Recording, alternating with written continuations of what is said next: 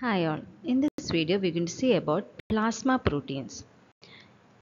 So plasma proteins can be asked as a short essay like what are the functions of plasma proteins or it can even be asked as an essay question. So we'll just see how an essay question can be asked based on plasma proteins. So this is a question that was asked previously. A 54 year old man admitted in a medicine ward with a history of chronic alcoholism presented with bilateral swelling of both feet and distension of abdomen, also yellowish discoloration of skin and eye.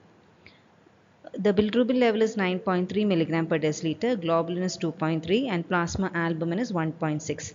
Name the clinical condition, what is the pathophysiology and discuss the functions of plasma proteins.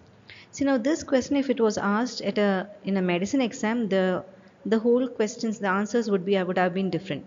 But since it is asked in a first year MBBS uh, examination we will analyze this question at that level. Okay? So first of all I would like to give a brief introduction on what plasma proteins is. So we know that our plasma basically consists of cells around 45 percent of our blood contains cells and the rest 55 percent is a plasma. And inside the plasma we've got 92 percent water and the rest 7 percent is proteins.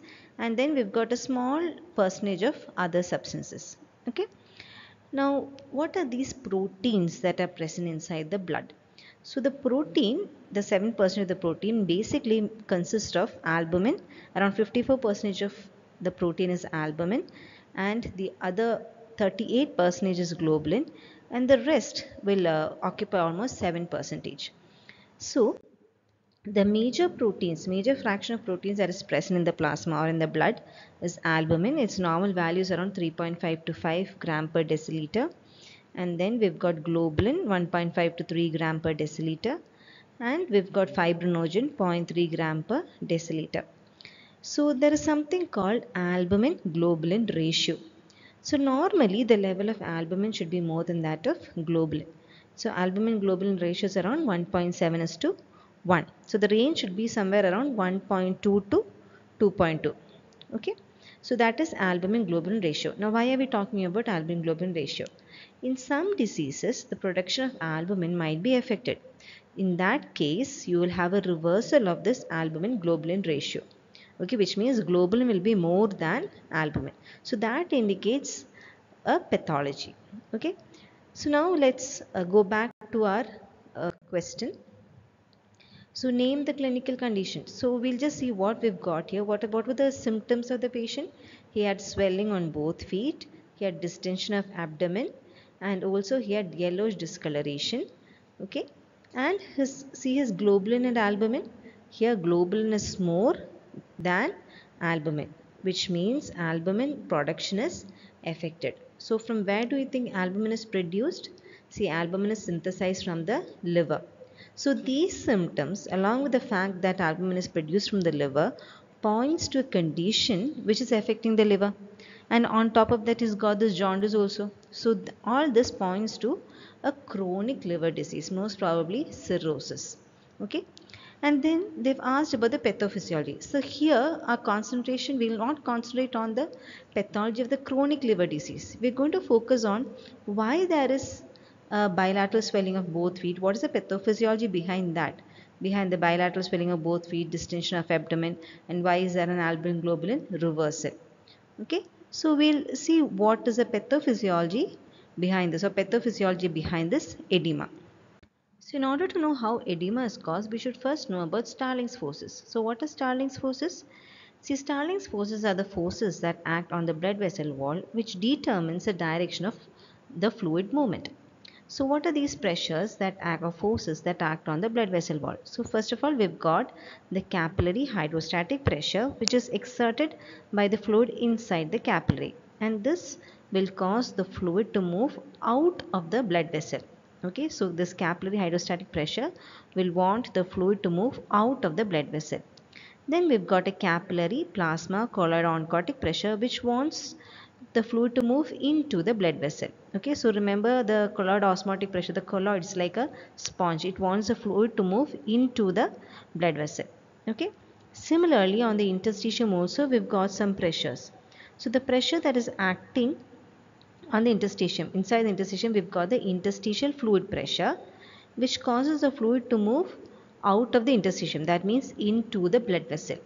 Okay. Hydrostatic pressure always pushes the fluid. So the interstitial fluid pressure wants the fluid to move out of the interstitium into the blood vessel.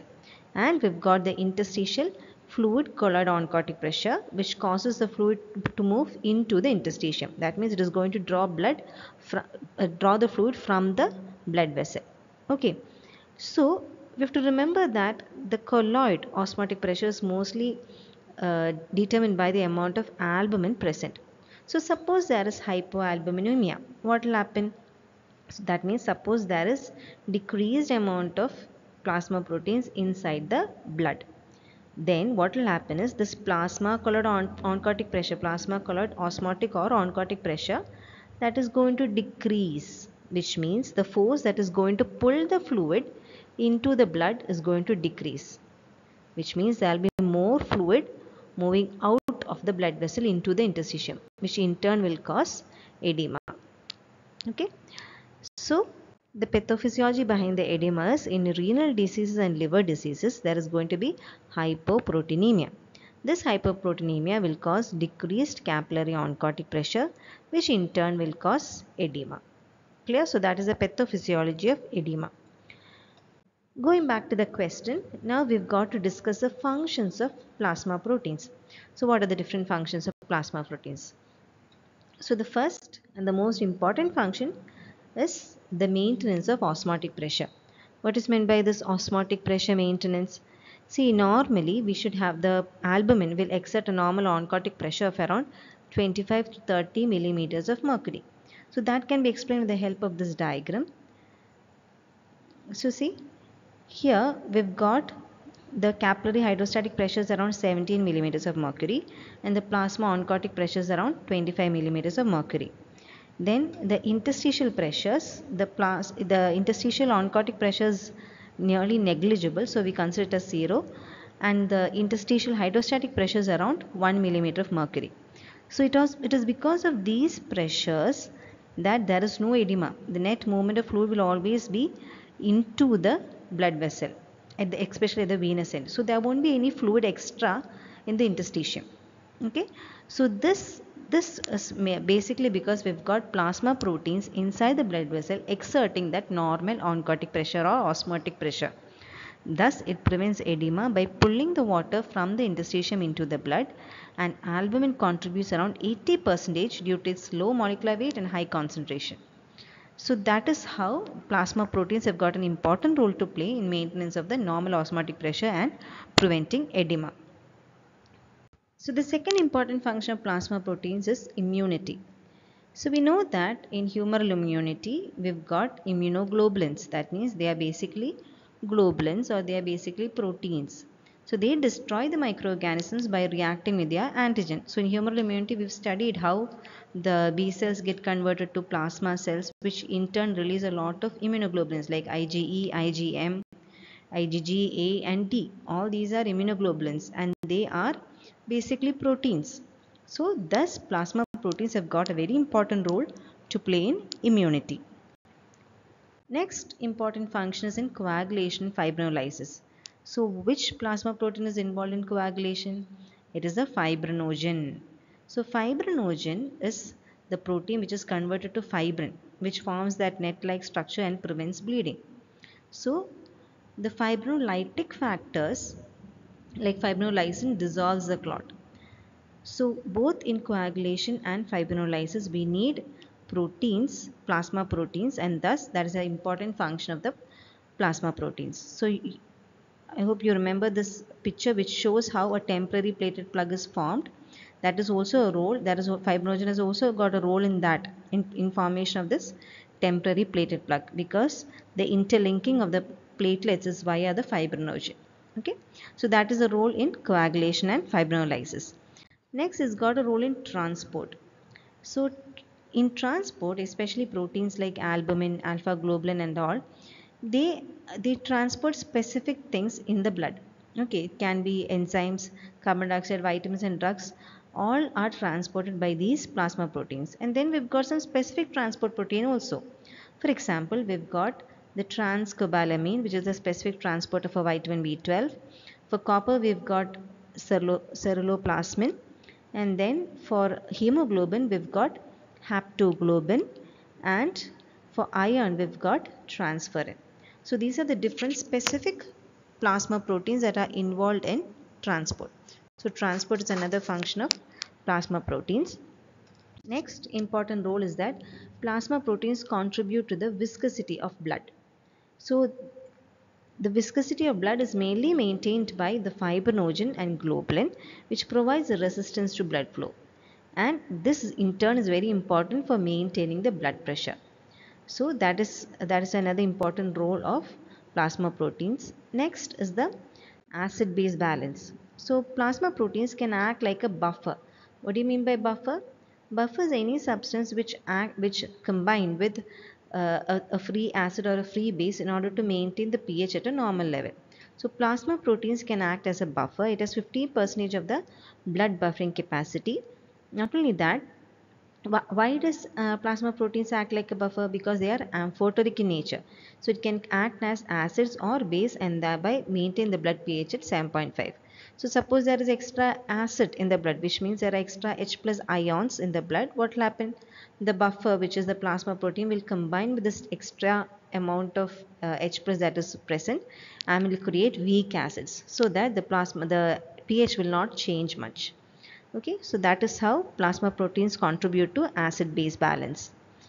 And so finally another important function is Rouleau formation. What do you mean by Rouleau formation? It is the stacking of RBCs when the blood is kept outside the body. So there are plasma proteins that promote Rouleau formation like the fibrinogen and globulin and there are plasma proteins that inhibit Rouleau formation like albumin. So basically it the erythrocyte sedimentation rate thus depends on the amount of plasma protein present and what type of plasma protein is present in excess inside the blood or whether anything is deficient. So we know that why, why is it, uh, why, how, how is plasma protein level going to affect Rouleau formation? See, around each RBC, we've got a slight negative potential which is called the zeta potential. So normally because of this negative charge, the RBCs get repelled. But when there is excess fibrinogen, what will happen? It will negate this negative charge so that the RBCs will stack on each other forming the Rouleau. So that is how the plasma protein level can affect the Rouleau formation. So that completes all the seven important functions of plasma proteins. So thus we have discussed this essay question so you know what Starling's forces are, what is the cause for edema and what are the functions of plasma proteins. So I hope this video was useful for you. Thank you.